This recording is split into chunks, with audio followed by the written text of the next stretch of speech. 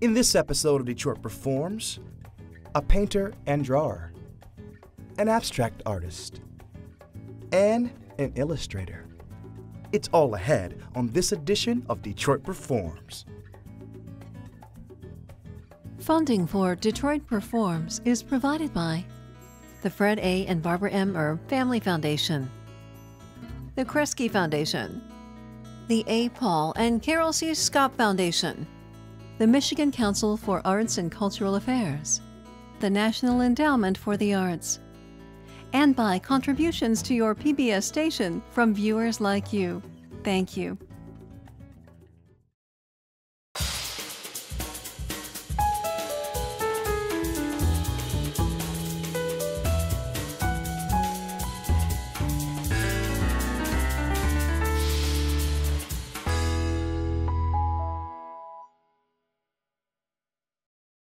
Hello and welcome to Detroit Performs. I'm your host, DJ Oliver, and today I'm at Brightly Twisted, located in Detroit's Corktown neighborhood, to participate in a tie-dye workshop. So, throughout the episode, you'll see Zach McKeever teach us the steps of the tie-dye workshop. So take it away, Zach. All right, all I'm gonna do is I'm gonna draw two circles on this piece of fabric in front of us. I'm gonna do a fairly big one, and I'm gonna do a small one. They don't have to be perfect. They're not gonna be perfect. Don't get caught up on your circles. So just go ahead, just like that, just like that. All right, so as I finish up my circle here, let's check out our next artist, Robert Schefman, who's working on an exhibition based on strangers' secrets. Take a look.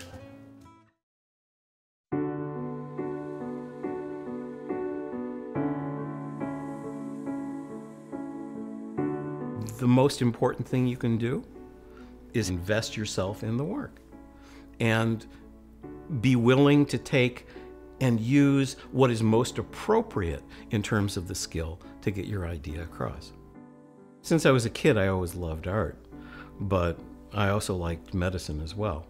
So actually, when I was in high school, I had an internship down at Receiving Hospital doing autopsies. That experience gave me a different perspective on the human body, about being us, and eventually that found its way into my work what you see in terms of my paintings and my sculptures is not the way I was trained. Back in the 70s, you were pretty much discouraged from doing anything that was illusionist like I paint. You were also discouraged from doing anything with a figure. But I finally went in that direction, and it seemed like endless possibilities as opposed to dead end. So I went there. I'm making an illusion, it's just a magic trick. I want to see where I can take and use illusion to make metaphor, to use symbol to relate to different issues. The inspiration can come from any place. You take an idea and you run with it and you develop it a thousand different ways and explore wherever it will take you. If you have the guts to go to places that were, quote, forbidden, fine. It's not about starting in any specific way. So sometimes I might see something that, that sparks an idea and it goes in my sketchbook. I might work that and develop an idea.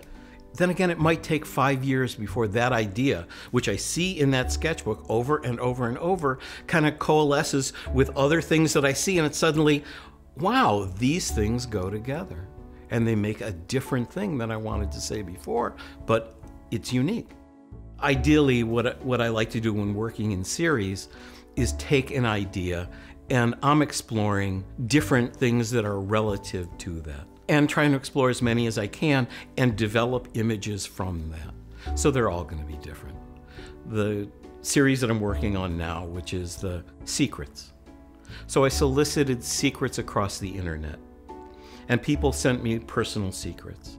Everyone's secret is not unique. In fact, I had very few unique secrets by using that secret uh, not as a, an illustration of what they sent, but talking about uh, more internal feelings, uh, developing an image based on that idea. Some of the secrets were more personal, less political. Some were more political, less personal. Some of the secrets were legal issues. and, but it was enlightening. The biggest secret that Americans keep right now seems to be um, suffering from depression and everything that goes with that. And so, because of that, it became the largest painting that I was going to do in the series. And I wanted to uh, take on that being otherworldly and right in this world at the same time, because that is what we do. Depression is something you are right in this world, yet you can't take a point of view that keeps you in this world. There's another painting in the show that is someone who was in love with their best friend and couldn't tell them. And it was about sexuality and about choice and about also the hiding. And that internal struggle is what I tried to get on the, the canvas. And then there was a lot of people who were hiding sexual orientation, uh, drugs and addictions to either food or different drugs and alcohol. There was lots of lots of stuff for me to explore. Some of the people actually wrote again to tell me how cathartic it was that they've been holding this secret for 45 years and never told anyone, and that the experience of putting it down and sending it out released them in a way.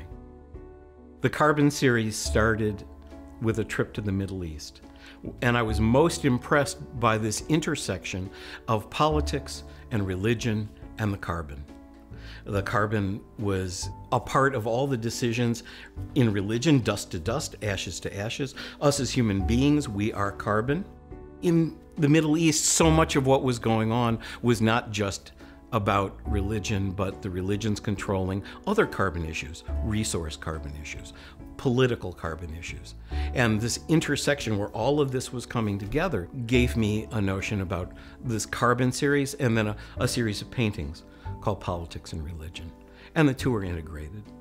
So the carbon series was drawings, and everything I did was made out of carbon, about carbon. And the paintings were uh, more about the political and the religious aspects of this carbon system. My process has always been starting from a blank sheet of paper. When you start with a drawing that has no direction, everything is possible. And I'll use the drawing and I will make hundreds of drawings until one strikes me as making that agenda hit as much as possible, being as direct to what I want to say. And then when I start painting, it's still a moving target. And things are going to change when, when I start painting and uh, either for visual reasons or for content reasons, this is illusion. It's not real. It's just pixels on a page. And if you think about the pixelization of an image, this is how painters have always worked. Only instead of digital pixels, it's a brushstroke. So every brushstroke is a different color. And how illusionist you want this work to be is how often you change the pixels. I'm changing the pixels as much as I can. Uh, that experience, that illusion is important to me. It's not the focus, but it's how I want to get the idea across. And so if I want to paint a hand or an arm, it'll probably be 15 different colors. And I will start with those and then intermix and change those depending on how it goes. My paintings are not about paint. It was about what I wanted to say you take an idea and you make an image, and I've been fortunate enough to have moved enough people that they will give me a platform, meaning shows. Whether it's galleries or museums, when you get the work out there, people come and see the work. I'll get letters back saying, oh, this affected me, that affected me. I think that's the communication factor. That's that image transferring information from one person to another. You're trying to affect someone. You could go in a closet and make all your work and burn the closet down. You, you fulfilled only half of the issue of the arts. The arts is communication without the audience. You have not fulfilled all the mission.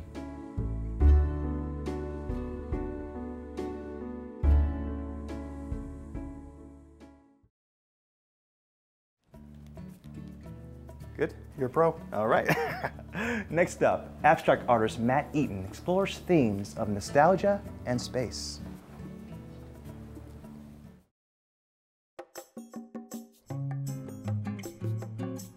I was born in Northern California, but um, my family lived in Los Angeles until I was about 11. Then we moved to uh, London, England, and lived there until I was about 20 before moving back to Michigan. Actually, we had never lived in Michigan before, so moved to Michigan. My father was actually a photographer um, and worked um, in Miami and Detroit and um, in the West Coast in California as well. He used to be a, a model for like Hudson's, the department store here in Michigan. Being on the other side of the lens, I think when he was really young, inspired him to pick up the camera. There's always been creative people around us, so my brother and I grew up in the kind of household that was, we were constantly surrounded by creatives, um, actors, or poets, or dancers, musicians. Well, I mean, I first uh, thing I'd probably lead your eye to is the horizon line. This represents the horizon for me. This is an experience out in the high desert.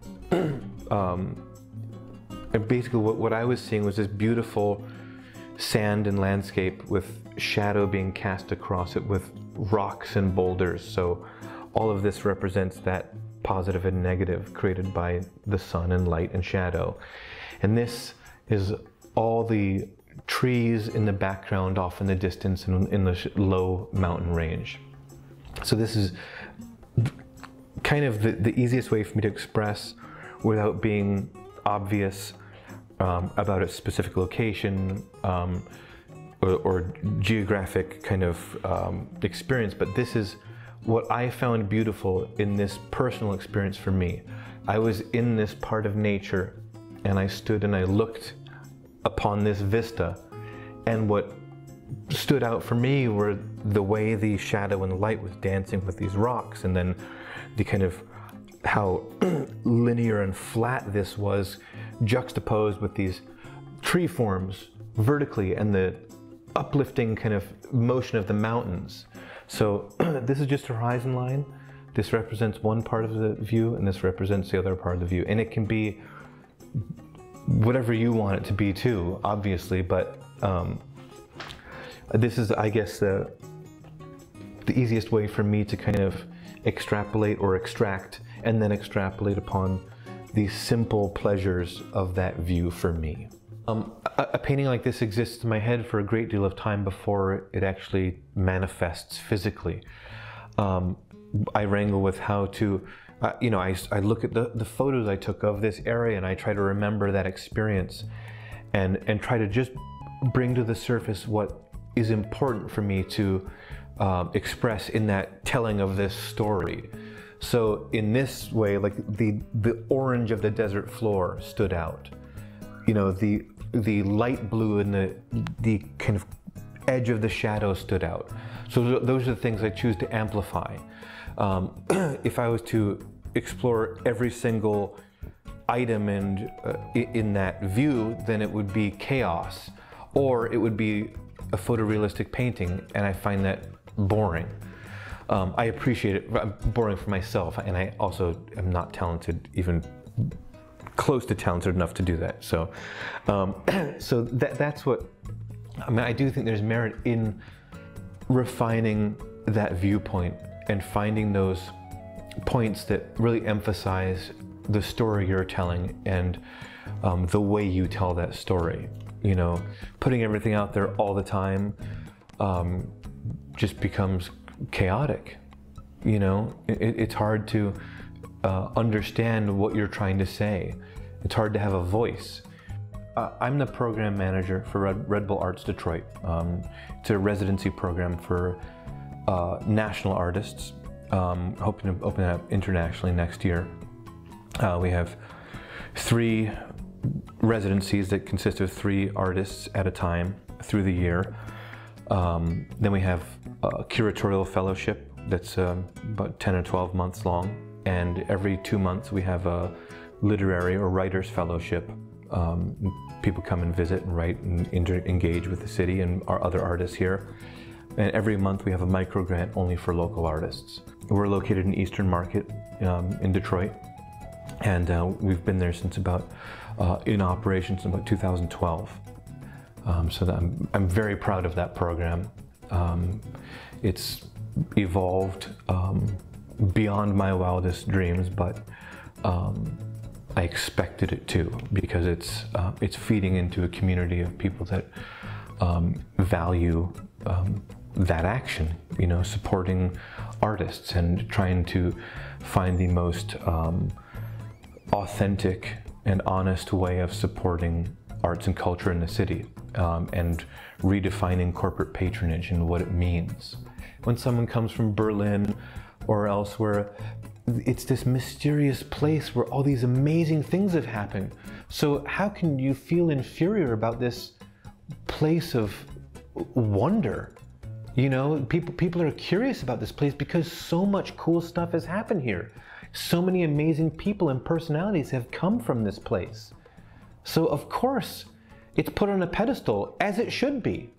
You know, if you're feeling inferior about this city, then the problem lies within you.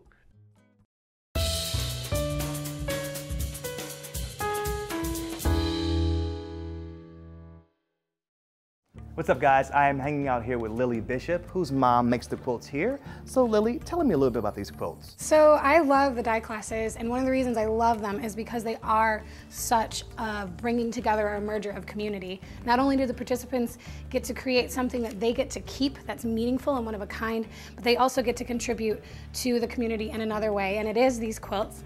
Um, my mom is actually the seamstress behind them. So in the quilts you see a square of the practice piece like we're doing today. Mm -hmm. And then on the other side, mom kind of goes crazy. She kind of goes nuts. She really dips into it and she really does a little bit of herself. So you have like the Jeannie Nicholson side and you also have the Brightly Twisted side. Okay. Um, it's really unique because she's got a head injury. About 13 years ago, she was involved in a catastrophic car accident. Mm. Uh, she was in a coma and uh, we didn't know if she was going to live. She was actually given a 7% chance to live and a 1% chance to be out of a vegetative state. Mm. So um, it's it's kind of miraculous that she's even here with us, Absolutely. let alone able to continue in her craft and in her art. It's been such a beautiful, tangible story, what she's been able to make. And uh, I think everyone in my family has lots of quilts. Yeah. But it wasn't until uh, these classes and this collaboration with Brightly Twisted that these quilts have really come alive and become something that we can give to the community. Yeah, so how do people feel once they get these quilts? How's the response? Honestly, I think uh, the reception I think has been wonderful and definitely brings tears to my eyes. Right. You know, it's so great for my mom to have a voice again. Thank you so much, Lily, for letting me be a part of this. I want to give you a hug. Man, thank you. Thanks for sharing our story. Oh, appreciate it. All right, now let's check out some upcoming events happening in and around the D.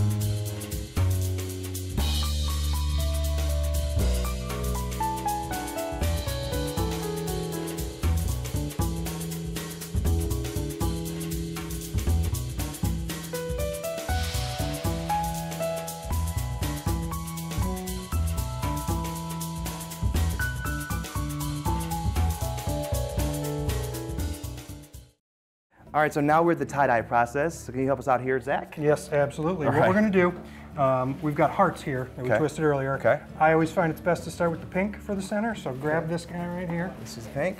And you can just follow right along with me. We're gonna go right up to this first rubber band. Okay. So this big chunk in the center, and really saturate it. Don't be shy about using that dye. Okay. Now if you wanna go into this one right here. Purple? Yep. Okay. Same thing we did before. I'm gonna overlap both of these rubber bands. So we're gonna start there. It's gonna bleed up into the pink, that's good, we want that. Okay. So you've got a short little bottle in there with a fine tip, mm -hmm. black dye. We use black dye in almost every piece we make. Now all I'm gonna do is right over top of these rubber bands, I'm just gonna draw straight lines. It's gonna okay. look like it's going everywhere. Okay. I promise you it's not. So that's all we're gonna do. Five or six times back and forth. Okay. And we'll do that for each rubber band. Dash them right in here. All right. There we go. All right, thank you, man. You are welcome. All right, now let's check in with our next artist, Gabriela Riveros, who's making a name for herself in the art community with her unique illustrations based on her Paraguayan heritage.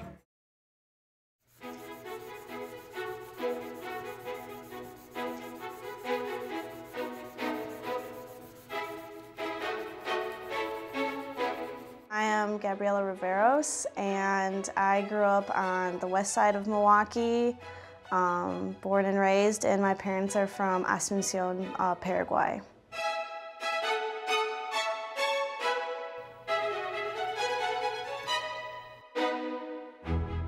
Uh, so growing up, I always kind of been into drawing, and then uh, I happened to go or be lucky enough to go to schools that specialized in art.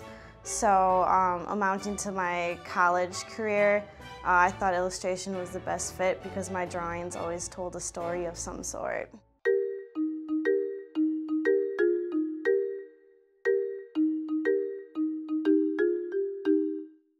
So uh, my designs, I like to focus on like history and culture. I'm really into heritage, um, especially Latino heritage. So I try to integrate as much like history and kind of like lineage and I research a lot of tradition and kind of like re-translate that into something that people can relate to modern day. Recently, my biggest inspiration is like Latino literature.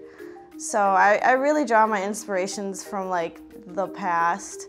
Um, for my audience though, I'm really inspired by people like me who want to know more about their identity and kind of like connect more with that because I think a lot of times people kind of lose their like cultural roots. I first um, started really getting into it when I actually went back to Paraguay and then um, I've been uh, just taking notes and like creating art while I was there and soaking up uh, just like the own traditions that I would normally kind of like look past and just do. Uh, and then doing on my own time researching like Paraguayan history and art and understanding where everything comes from that we have present in our culture, like all the indigenous roots and the um, like Spanish roots and how all of those combine. I think I really love kind of like the mythology because Paraguayans are like well, they're like the ultimate mestizo for the most part, but like the indigenous is Guarani, and um, the Guarani traditions and like culture is very present with us. So uh, one of my favorite things I take away from that is all the old tales, and I love um, all the art along with it. They do a lot of traditional weavings, and they have these really special, delicate weavings that I incorporate a lot into my work as like an inspiration.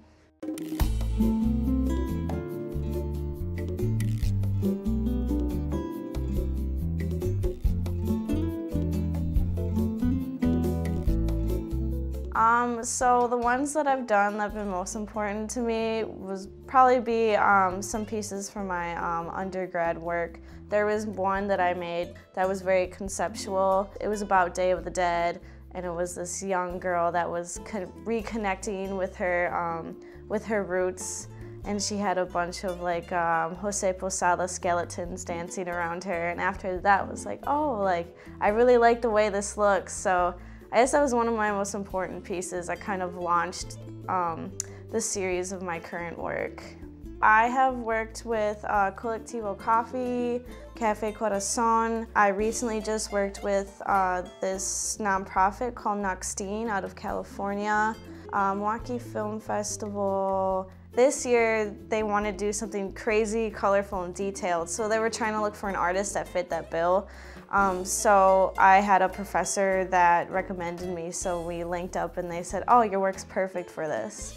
Um, the theme of it was the wild side of Milwaukee. Uh, so my main inspiration for that piece was medieval art. So the, the main layout is based off Hieronymus Bosch's Garden of Earthly Delights, the center panel, where um, it's kind of like this heavenly landscape. If you know your history well, you'll notice like medieval beasts that I've kind of reinterpreted as Milwaukee citizens. And then uh, I was also inspired by drolleries, which were uh, medieval, they were like really weird medieval doodles in the margins of illuminated manuscripts.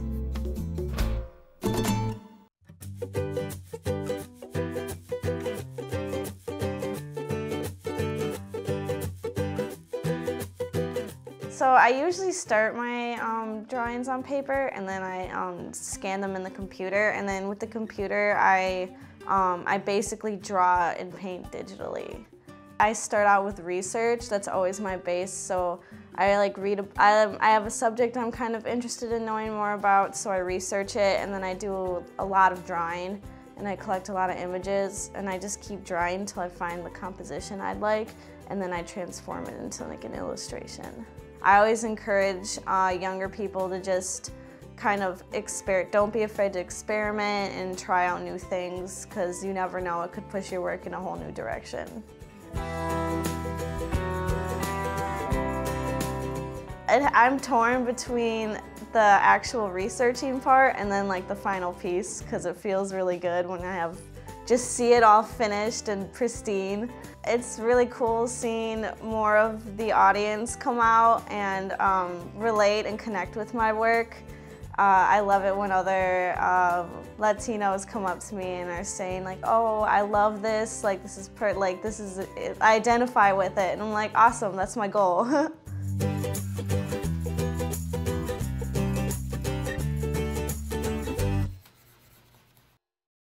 Thank you so much, Jeannie. Thank Appreciate you. that. Thank, Thank you. Thank you. Very good. Thank you. Thank you. And that wraps it up for this edition of Detroit Performs. As always, for more arts and culture, head to DetroitPerforms.org, where you'll find featured videos, blogs, and information on upcoming arts events. I'd like to thank Brightly Twisted for having me here today to participate in a tie-dye workshop. You can create your own beautiful tie-dye pieces by coming down to Brightly Twisted during the scheduled workshop or booking your own private workshop. Until next Tuesday, get out there and show the world how Detroit performs, y'all. I'm DJ Oliver. Thanks for watching, guys. Funding for Detroit Performs is provided by the Fred A. and Barbara M. Erb Family Foundation, the Kresge Foundation, the A. Paul and Carol C. Scott Foundation, the Michigan Council for Arts and Cultural Affairs, the National Endowment for the Arts, and by contributions to your PBS station from viewers like you. Thank you.